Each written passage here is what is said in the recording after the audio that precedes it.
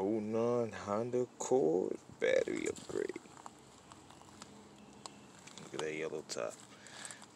Isn't she lovely?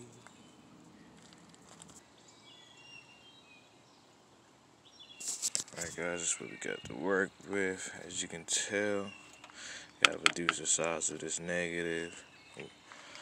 Looks like it's probably about 4 gauge. But anyway, I gotta shorten this. I'm actually gonna change this with 0 gauge wire.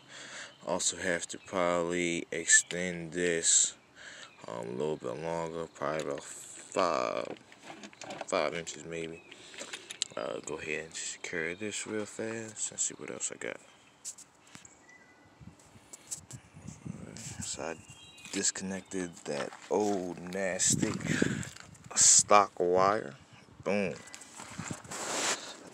That right there is the bolt that was holding it in. And this is what I'm upgrading to zero gauge wire. Isn't she pretty? Okay, I'm gonna go ahead and clean that rust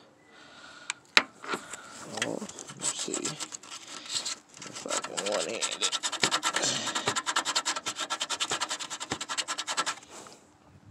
Not too bad, it's getting there.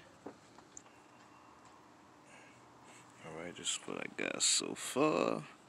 I wanted to make it a little bit longer, so as you can see, it's been down to an S. Um, don't look like it's gonna go nowhere. Just when I put my distributor block on later, um, or my bus bar, I have a little bit extra room to maneuver. Uh, in the future, I'm gonna go ahead and go do the big three, upgrade that damn power wire onto that alternator, and do a little other. But right now, I'm gonna go ahead and get started on this positive. Let's get to it.